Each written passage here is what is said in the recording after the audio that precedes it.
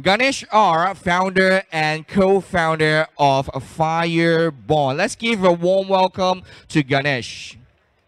Let's go. Yeah, Ganesh. Uh, for our panelists, we are going to have uh, Hanis Harmiles, all right, and of course our old friends right here, founder of our Reinvent DAO. Okay, please be seated. And our Mr. Tony Fu, all right, founder and CEO of Novotel. And we are going to have Eugene Chung, founder and CEO of Penrose Studio.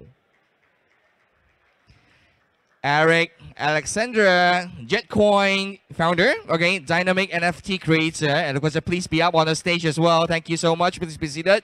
Anndy Lian, all right, intergovernmental blockchain advisor. And last but not least, right here, we are going to have James Lee, CCO of Starry Nift. Please be seated. All right, so before we begin, and of course, this is going to be the times right here to join us for the last round of our roundtable discussion. And of course, yeah, for those who viewing on web right now, if you miss out the first one, second one, the third one, do not miss out the fourth ones right here. Um, right now, I'm going to pass the stage right here, and of course, going to conduct with our moderator, Ganesh. There you go. All right. Thank you so much. Uh, it's really, really nice to see so many people out here who are curious to learn a bit more about the technology. Uh, we have some great speakers here to be talking about NFTs. So I'm just going to recap the topic a bit. We're going to be speaking about how NFT empower the creator economy in the Web3 era and fully stimulate the development and prosperity of the cultural industry. I'm Ganesh, CEO and co-founder of Firebond, an analytics and growth company for Web3 games. I'll be your MC for, the, for, the, for this afternoon. I'm going to hear a few lines about the current speakers that we have right now. Oh, hi everyone. How's everyone doing today? Feeling a bit sleepy? No? Energized? Yeah, okay, that's the spirit. Um, hi, my name is Hanis. I am the founder of Reinvent DAO, which stands for Decentralized Autonomous Organization. So what we're doing is that we're building a collaborative asset pool ecosystem where you can tokenize best practice toolkits and frameworks from the consulting industry and make it accessible for the gig economy. Thank you, everyone. Hello, everyone. I'm Tony Fu. And I should point out that uh, there is a typo uh, of my company. My company is NFTChina.hk, a Hong Kong-based NFT marketplace.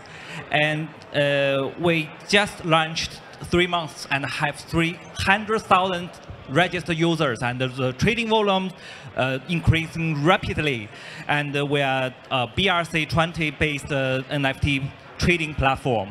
Uh, me myself was the graduated from Peking University and have my master's degree and have seven years ex working experience in Web3 or crypto uh, area. Nice to meet you all. Thank you having you here.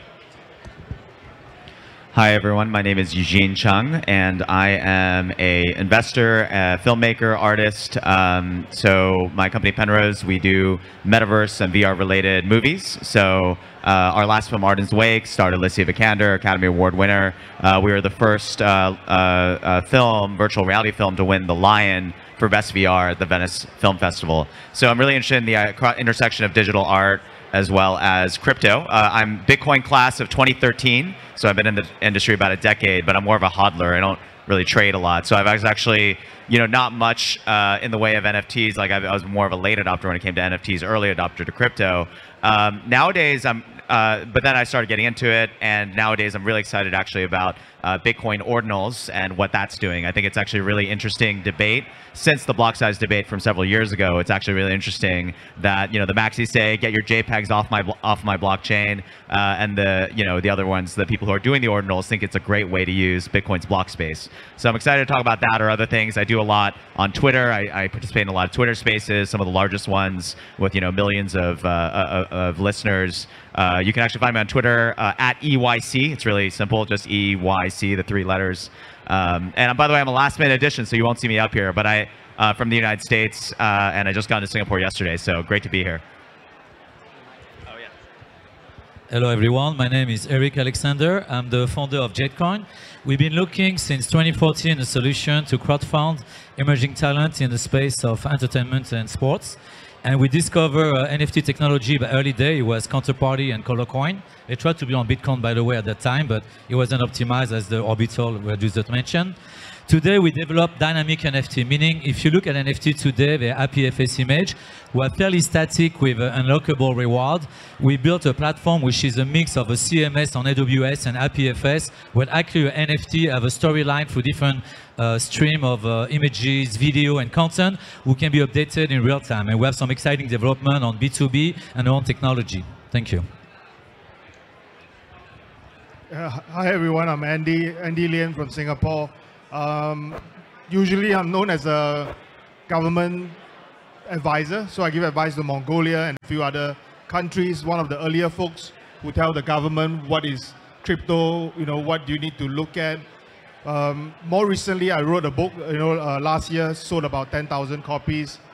Um, investor since 2013, doing a lot of Web3 related um, advisory and investment I do give some of my time to uh, Bybit as an advisor.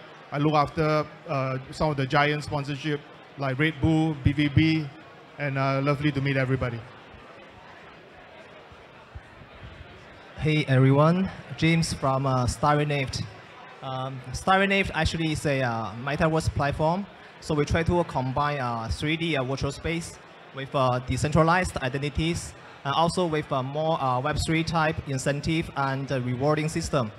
So our aim is to provide a uh, Web3 gateway for uh, all the users to onboard Metaverse, where you can play, you can earn, you can socialize, and you can create. Thank you. Thank you so much for the introduction to everyone. Before we commence, uh, I'm just going to start with two questions uh, that will help us structure the conversation that we're going to have over here and this for the audience. How many of you actually heard of NFTs? Can we have a show of hands, please? Gotcha. So that's like a 75% here. And how many of y'all own an NFT in the space? All right. Okay, so not a lot of people who own an NFT. So hopefully by this session, either you are fully convinced of owning one or you're never going to touch it again, right? So let's start cracking with the first question over here. The NFT market is flooded with all kinds of wonderful works.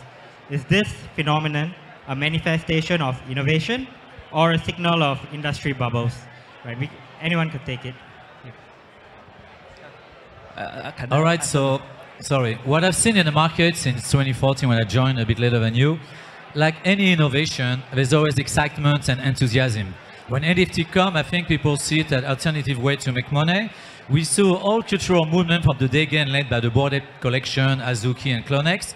So we saw collection and a new way actually to uh, create value for NFT, but it was really early stage. And I think people call it a bubble. I think it's normal, it's enthusiasm, it's new, it's innovation. I think the wave has a bit crashed. Today we see more interesting utilities provenance, uh, certification. In our case, we do ownership, we do fractional, fractionalization of a real estate. We're opening a nightclub in uh, Makati, Manila, where 30% of the profit are distributed to the NFT holder. We do a fractional ownership of image rights of talents. We do a fraction ownership of a whiskey container being sold to uh, CEO. So today we see more and more commercial application and people are playing that technology with true utilities. And I think NFT can unlock much more than that. But I'll let the other panelists to talk about it. I totally agree that the NFT industry is a very early stage. And uh, if we take a look at it by uh, value uh, value regression theory, I think 90% of the NFTs worth nothing. But the bubble is a good thing. We should take advantage of the bubbles. So uh, it, it, will make it uh, spread very fast. Yeah. And also we've seen interesting collection beyond like the Bored Ape, Azuki. Many celebrities have done NFT collection. We talk about superstar, Johnny Depp, Anthony Hopkins, Messi, Ronaldo, uh, Beckham, um, uh, O'Neal. And we see this collection have a bit of a hype at the beginning, but I think it's long-term hold. So I think really interesting, like you're a filmmaker. Personally, I used to be a filmmaker in advertising. To be able to have an NFT of a superstar that's something valuable, personally, that may have not value today in terms of speculation. Um, supplying to what um, Eric and Tony was actually saying, you asked the question to the audience, how many of you actually own an NFT? Can I, can you put your hands up again? I just want to get into some numbers. How many of you own an NFT? And are they mostly from arts, property, arts, property, or arts? Mostly digital arts, games, okay. So I want to take a step back a little bit and just explain what is NFT, yeah? Non-fungible token. So the question that um, Ganesh was asking, whether does NFT actually have, um, are we in a manifestation of bubble or we are, is it, is it bringing a real use case to the economy? So NFT is actually as a form of ownership, um, a type of token, yeah? In a Web3, the difference between Web3 and Web2, Web2 is about read and write what you see on your mobile app and everything. While in Web3, NFT is a form of token that provide you ownership of the digital asset. So that digital asset can be in a form of arts, um, games, you know, education, content, but you put it on a blockchain. That's why we call it non-fungible token. So, but related to this, that's why I personally feel in 2021, we've had the NFT summer where, you know, we had all the Bored Apes, all the crypto punks, all the digital arts, um, NFTs were on bubble, were on hype. But now you started seeing real use case of NFTs are actually being developed. Things like um, property, fractionalized ownership of a property, tokenization of bonds or tokenization of everything, but um, content, materials. So these are using real world assets that you are putting it on a blockchain that makes it transparent, immutable, and people can also see the value of the asset of the NFT. So I hope that helps to explain to those who do not understand what NFT is. Sure. Um, judging at the number of hands, you know, if we talk about NFTs as a form of securities, for example, then I tell you there's no liquidity. The number of hands is just too weak. Nobody's going to buy your, your property and so forth. I, I, I want to take the stand of uh, what, what Tony has mentioned about the bubble. Um, to be very honest, you know, whether NFT has a utility or not, it is really very subjective. Because if you are a crypto native, you know, you love the project. You know, one of my friend, you know, the, uh, is a WazirX uh, co-founder. He, he mentioned what, what, what is an NFT? It's actually a symbol of love, you know, from, from a Web3 native to tell you that, hey, I, I, I deserve to be recognized. It is a status, right? So if you look at it from that standpoint, there's actually a lot of different views. You can actually give it to different people. You can actually try to use it as a tool to draw people to Web3. Then with, with that kind of Web3 audience, a lot of other things can start to, to grow a lot better. You know, then, then taking my, my friend uh, uh, Alex, uh, uh, Eric's example, you know, for, for all this superstar that is coming on board, you know, uh, we, we, we work directly with Red Bull, for example, you know, or, or we work directly with uh, some of the other uh, soccer players, for example. Many of these NFTs, to be very honest, they are not selling it for big money. You know, they are in fact giving it away. They are trying their very best to draw user, create user stickiness. I think that, that there's always a progression right now, and, and, and this is what I see, you know. I actually think most uh, NFTs are pretty useless, as, as, some people have, have brought up here. Um, you know, I love crypto. I think it's great. I think NFTs have a long-term uh, possibility to create user value, but right now they're mostly useless. Let's let's be let's be frank. But there are a few that have been very useful. Um, I would say that like usability is something that the prior speaker brought up, and um, I would say like one of the ones that were used a lot is actually Axie Infinity's like um, you know basically their the uh, basically their uh, game, which you know if you look at SLP Smooth Love Potion, it's obviously gone down a lot, and you know the game is not as profitable anymore. But uh, game developed out of Vietnam, used in Southeast Asia, right? We're in Southeast Asia now. I mean, mostly it was like people in the Philippines making, you know, seven, eight dollars a day. I remember when I first played it, uh, I made like eight bucks, you know, of SLP worth uh, at the time in a day, and I'm like, hey, eight bucks, great. I can go get a coffee and maybe get a coffee in uh, San Francisco, right? Maybe, probably not. Uh, but in, you know, in other countries, eight dollars a day can make you quit your call center job or whatever kind of job, and you can start there and sit there and play all day. So there's actually there was real economic value. I don't know if it was good or bad. You can give, you can say whether it was gambling or not, but people actually found useful, right? And I think again, it's going to be about how useful it is, not like DGens trying to figure out how do we just like you know pump something up and make a lot of money outside of like the blue chips like Bored Ape Yacht Club and other things by Yuga Labs like Cyberpunk. Um, so um, CryptoPunk. So basically, I, I, I worry about some of the issues that are going to plague NFTs, but I actually think it's going to be uh, great. I think what's happening with Bitcoin Ordinal is really interesting. They don't even use the word NFT specifically because they think it's a bad word. They call it digital artifact, right? So that's, I think, maybe a slightly better word. We'll see.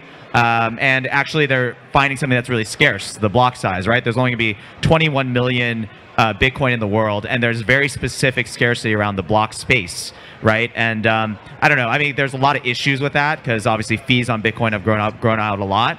But uh, I'm, I'm excited about what some of these things can do over time, even though most of the things are pretty memey in there. Uh, you know, things like Pepe Coin and Pepe's on Bitcoin's blockchain, etc. But I'm excited for how it's going to develop. But right now, there's a lot of fraud, but also a lot of cool stuff. But, uh, I, I like to add something because you mentioned gaming, and I think the user case for NFT and gaming is perfect alignment.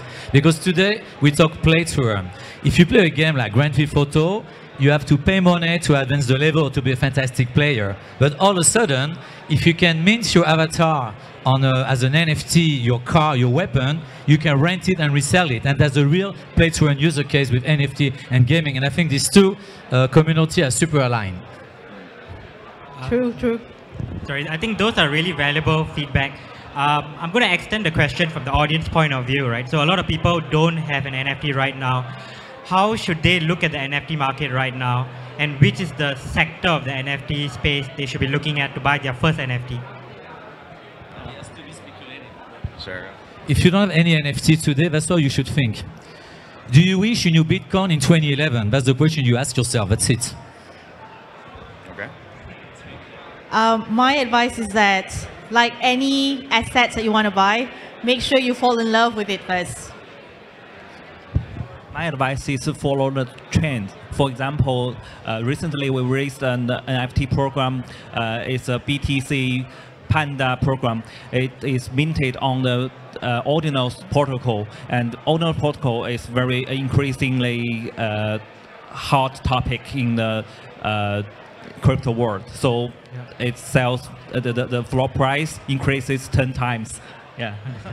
Uh, maybe a quick one, very, very quick one. I think I, I think man, many of many of the audience here maybe do not even have a have a crypto wallet, right?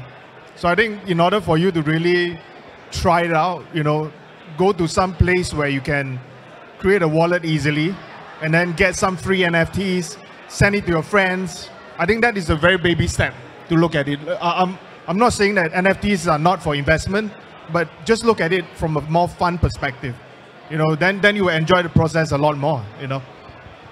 Fantastic. I, I think that's definitely one way to look at it, right?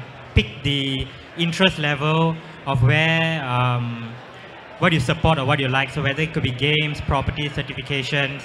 Um, don't spend too much on your first buy. So if you haven't bought an NFT, don't buy an Azuki NFT, which costs like 10K or 15K, because you don't know what to do with that after that, right?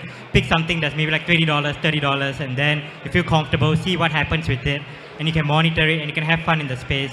Um, so always be um, very safe and read up a bit and always mingle in these communities with the NFT space to learn a bit more. I'm going to jump next to the second question here. Uh, everyone's talking about AI, ChatGPT. Uh, there was a very funny meme video that went on in the Google's town hall. Every single word was mentioned was AI, AI, AI, AI, AI, AI. Right, so the second question is related to that. Will the application of AI in the field of Web3 and NFT give birth to a new digital art form? which will make human artists unemployed. So are we going to kill all the jobs of the artists out there with AI? Okay. Go for it. Okay. Um, uh, actually, uh, uh, this question uh, reminds me of the uh, you know the uh, photography photography invented in uh, 18th centuries. So I think uh, back to that time, uh, do you believe the you know the, the painters, the portrait painters concerned that they may lose their jobs tomorrow? So I think so, you know, I think so. And and today I think we are facing the uh, same situation, but maybe this time it's a bit more uh, scary. So the you know the AIGC. But to me personally, uh, I don't think the AIGC uh, will um, replace or uh, kill the uh, human artist. So uh, number one, you know, the, uh, our human beings, we uh, process this uh, uh, unique ability to proactively, you know, accept all the, the adapt to the changes and to overcome all the challenges to solve the problems, you know. So we should be confident, you know, we are able to harness the technologies created by us. So even though there are a lot of uncertainties, so besides this, uh, there are also uh, other reasons uh, makes me believe that the AIGC uh, will not replace, you know, the uh, human artists. Okay, uh, the core value of art actually uh, lies in its expression of humans' emotions, humans' culture, and thoughts. So our human artists, you know, they possess this unique creativity and you know expression ability, which enable them to create more um, emotionally rich and uh, you know the, the artworks, you know, uh, which the AIGC I don't think can uh, completely uh, replicate. And secondly, you know, the art also has you know many forms of art. Uh, you know, the sculpture, music, dance, photography. You know, so maybe AIGC currently has made you know significant progress in certain areas, such as you know the processing the image and maybe music composing. But there are still you know other areas you know the human artists they still can uh, develop and uh, showcase their talents. For example, uh, uh, dancing. Have you seen any robots can really dance? You know, as nice as uh, human dancers? I don't think so. You know, I don't think so even in the near term. So that's uh, in conclusion. So I'm I, I'm pretty confident. You know, in the end, our human artists will coexist with the you know all the technologies, just like you know the the history always repeats itself. Thank you. Yeah, I agree. Uh, uh, if we say the AI is a productivity and the Web3 is a production relationship, and uh, although AI can learn from the history, the, the civilizations, and can fit for everyone's uh, emotion uh, requests, but uh, we still need uh, human, human humanities, and we don't think a pure AI world, AI-driven world is a perfect world. Uh, also take the BTC Pandas program as an example. A, uh, each panda is all hand drawn by our uh, young and talented artists. And I think this kind of paintings, works, can truly uh, makes everyone uh, satisfied in the end. All right, I think I think AI can create fantastic uh, piece of art, but it's always based on algorithm analyzing data, existing data. I think AI lacks cultural, emotional intelligence totally. I think art is always come from emotion, from strong event, and artists want to express something at some point in time. I think AI probably don't have that ability to think what this event represent, how to represent that event at this moment, and could be any art form. But I think it could help in terms of architecture and management. So I think there's a symbiosis between artists working with AI to create new form of art, but the emotional intelligence will come from the artist at first. I um so I, right now I do a lot with uh, uh, generative artists, right? So th- th- their, their form of art that is being shown, you know, in the in a form of coding, is is actually how an artist express themselves, and then it, it forms in a in a kind of a pattern and so forth.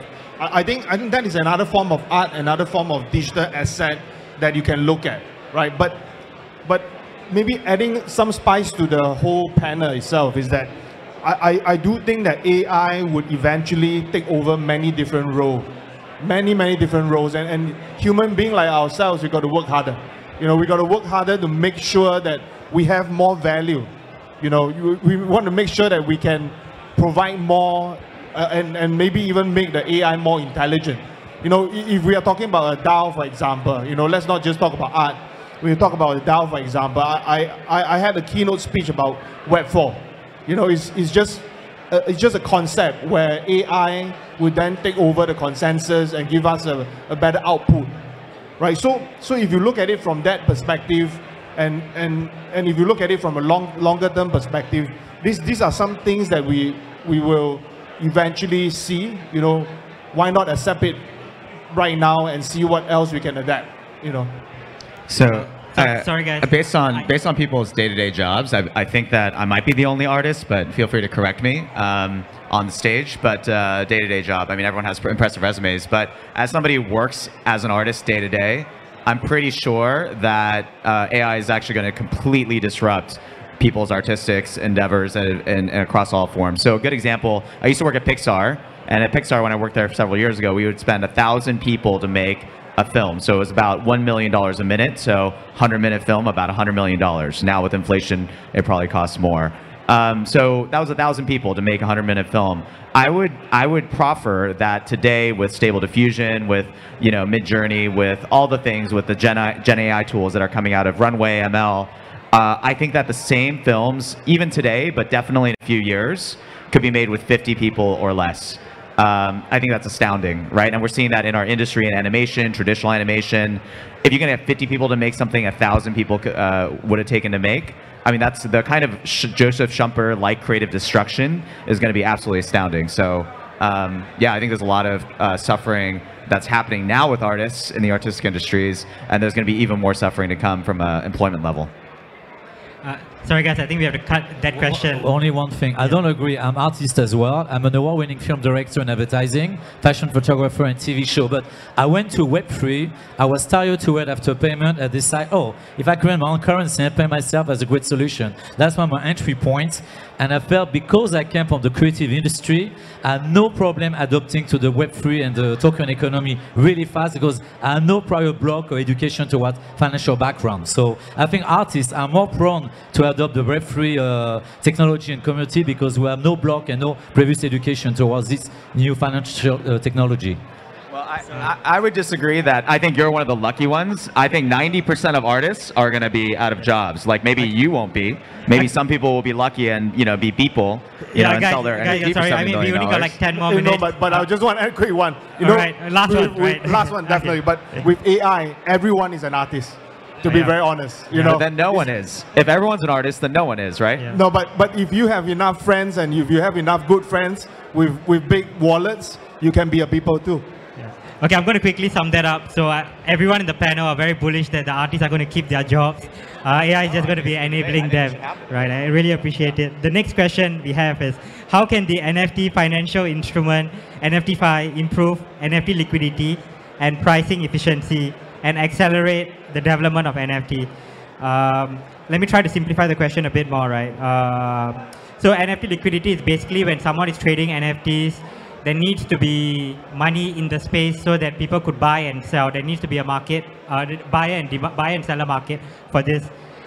Uh, what is what what is going to? How can we improve the pricing efficiency here, like without having too much of volatility, and accelerate this development of the space? Right. Um, I, I think it's happening right now. You have platform where you can uh, lend your NFT, you can loan it, your Bored Ape, CloneX, Azuki, where you put it there, you borrow a loan so people can lend you money. And what's interesting, it creates liquidity in the market. And secondly, it gives a good, uh, it gives a good valuation of your NFT based on the market demand for the loan. So I think NFT improve liquidity indirectly as long as they have value in the market. Uh, just uh, quickly to add on, so when Eric was men- uh, mentioning BAYC, Azuki, these are all considered like blue chip NFT projects. To give you a price point, they start at like 10k USD and goes up to like 130k USD on one digital art. Right. Uh, I just want to supply to what Eric was saying. So NFT can also come in a lot of forms where you can look at NFTFi. It's a way of decentralized protocols for the NFT market. So think about it like um, in the case of NFTs, there's this thing called NFT Indice, where you can also index the token of the NFT and put in like say top 10 NFT collections in it. So rather than wanting to own each NFT from blue chip like Azuki or even like World of Women, um, CryptoPunks, you can actually put the whole NFT collections under one token, index token. So this means that you just have to own one single token as an owner. Um, and this is how we can actually create different kind of financial uh, use cases, instrument use cases, in order to create liquidity within the NFT market. Yeah, besides the RWA, real world assets, I think the charm of the NFT is uh, the financial uh, attributes. If we increase the liquidity, uh, as you mentioned, uh, become an alternative invest force by certain users and regulator uh, authorities didn't put a hand on it. So we can take advantage of this. And as NFT China, our platform, uh, hope to enhance our liquidity through various liquidity solutions. Uh, we aim to be a blue chip exchange and uh, we enable our features like pledging and lending and uh, uh, make our own Bored Ape and crypto CryptoPunks. Yeah, I mean, I think uh, there's like, what do we call NFTs, right? Is it just something based on the ERC 721 protocol or ERC 1155? Or is it security token versus utility token, right? I mean, I think it's important to draw that distinction because I think in DeFi right now, there's a lot of utility that is absolutely creating credit, for example, and also uh, enhancing liquidity, right? So a lot of times I go in these spaces and I talk about uh, a lot of finance people are like, oh, you know, you have like 1x leverage, USDC is just, and USDT are just getting dollars in and there's no credit formation, right? That's what traditional fractional reserve banking does. But if you look at some of these DeFi platforms and you look at some of the things being created there, it's fantastic the kind of credit formation that is happening, right? So trying to do, for example, a reverse cross inverse swap on like a DYDX, which by the way is an American company, but Americans can't use it, which is incredible, right? I mean, it's talk about the state of regulation. I mean, Singapore is much more crypto friendly than America. I'll tell I'll tell you that for sure. But I think it's really exciting to see the kinds of activities that are happening with tokens in in general, whether you call them security or utility, uh, and it's absolutely enhancing liquidity for all kinds of people around the world. So excited to see where the developments there are going to be. Yeah, actually, the, just to uh, add on a little bit, because I think uh, every one of us know this. Uh, I mean, the most common method to uh, improve this uh, poor uh, liquidity issue is through these uh, borrowing and lending protocols. But actually, other than this method, there are still other methods in the in the market such as you know the fractional um, NFT, which you know you can divide your NFT into many pieces, and you can sell you know um, uh, each piece you know individually. So this also can resolve uh, partially the problem. And based on what I know, you know there are also protocols they offer these uh, crowdfunding solutions. So means you know the many of us you can we just, we just put our share into a into a pool, and you can you know the platform can use this pool to buy an NFT. And if the price goes up, you know all of us can share the profit based on your share in the pool. Uh, as for the, you know, just now the mentioned the, uh, the poor the price uh, discovery mechanism. So um, actually, the, you, I know one protocol called the uh, Banksea, uh, Banksea Oracle. So I think this protocol they offer these price oracles. It's a it's a NFT evaluation services. So they use their exclusive algorithm and uh, multi-dimensional data analysis, and they will achieve, uh, they will arrive this uh, so-called average price uh, for the NFT they are tracking. So, I mean, there are many protocol, protocols in the market. I mean, the, um, to resolve this liquidity issue as well as the price, uh, you know, the poor price uh, discovery mechanism. My so my group of uh, researcher, we, we do we, we do a lot of uh, different analysis on a different NFT platform, for example, DYDX or Blur. So so when we look at the liquidity issue right now that you see, I think a lot of this liquidity are, are not real to be very honest, because it's just a left hand to the right hand, and there's a lot of wash trading. So, so coming back to the main point of about about liquidity, you know, I, I still stand by the point that we should draw in more users. You know, if there, there are no users, all these liquidities are only for the whales. You know, if you have 100 ETH, 1,000 ETH, yeah, you, you are doing well. You know, you, you rip off all the rewards from the, from the NFT platforms. But this is not something that is sustainable. You know, this is something some, some of these uh, retail investors here should really take note of. Yeah. Uh, sorry guys, we're running out of time. Uh, we're going to wrap up the session and hear a bit more about where to find the speakers for more in-depth questions and answers. So uh, in a nutshell, I think a lot of them shared valuable feedback and insights into what the industry is becoming, what the industry has become. Um, always navigate the space with caution. It is still going, undergoing innovation. As some of the speakers have mentioned, there's still a lot of things that needs to be done, especially in the liquidity, uh, liquidity aspect of it. Um, there's still a lot of potential in terms of utility, as mentioned in property, certification, gaming. Pick the best interest of you and read up a bit more about it. Um, speak a bit more to the people over here. I'm going to hand over the mic to the rest of them to tell them a bit more where they could find you guys, right? Where they could find you on social. Uh, you can connect with me on LinkedIn on my name Hanis Harmiles or follow Reinvent DAO on Twitter as well as on Instagram to know what we do in Reinvent DAO. If you want to be a creator, come and join us. You can find me through nftchina.hk or follow my LinkedIn. Yeah, I'm really easy. Twitter, just three letters, EYC. So just, yeah, that's it, Eugene. So nice to see you all. For me, it's super easy. You can find me at the booth JetCoin B12, and we have two lovely models who do a demo of our technology. They show our NFT and what we've built and what's new about it. Then you can see current NFT technology versus the dynamic technology we built. Um, with, with my name, I think you can just uh, easily find it. Um, so I'll be on Twitter, LinkedIn, and uh, maybe Andy.com. See you. Yeah, you can follow uh, our uh, platform, Starry You can follow our Twitter account, which is at Starry as, as shown on the screen. You can also follow me through my LinkedIn. Thank you. Uh, thank you everyone for sharing your valuable insights. Thank you to the audience for listening to us. Have a good time. You can catch me at the booth if you want to speak a bit more. Have fun and catch you all soon, right? Thank you. All right, uh, thank you, Ganesh. Thank you, uh, the rest of the uh, panelists right here. Because uh, this is the